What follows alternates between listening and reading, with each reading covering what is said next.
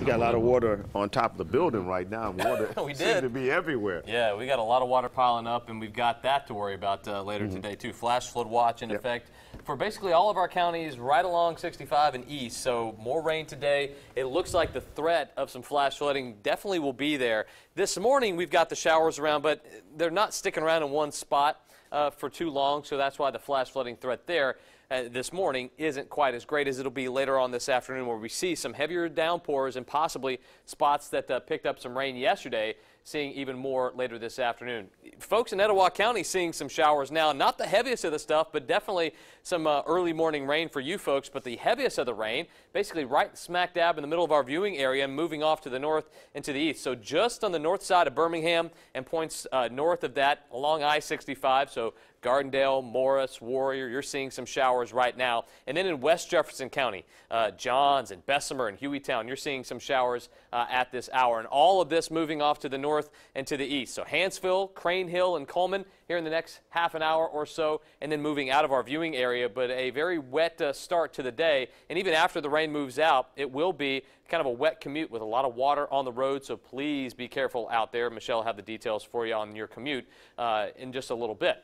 Forecast and futurecast for today. You're going to see the rainfall, most of it, in the eastern sections of our viewing area, and that's why we have that flash flood watch in effect. But you see, most of the afternoon stuff will be more scattered in nature. No big complexes of storms like we saw yesterday, but more scattered showers and thunderstorms. But that also gives us that flash flooding threat because we can get storms that pop up and dump a whole lot of rain in a very short amount of time. So we'll be watching for that very closely.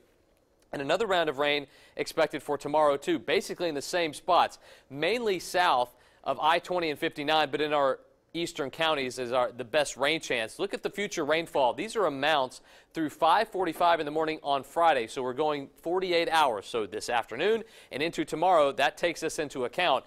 This little ribbon right here in East Alabama from Montgomery all the way through our eastern counties, anywhere from 4 to 5 more inches of rain is possible.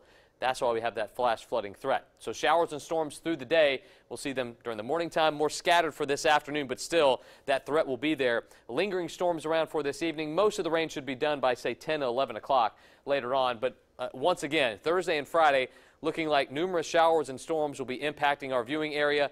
Lower rain chances for the weekend, but we don't take the rain out of the forecast. Only 40 to 50 percent rain chances, but isolated showers and storms and warmer temperatures by next week. Our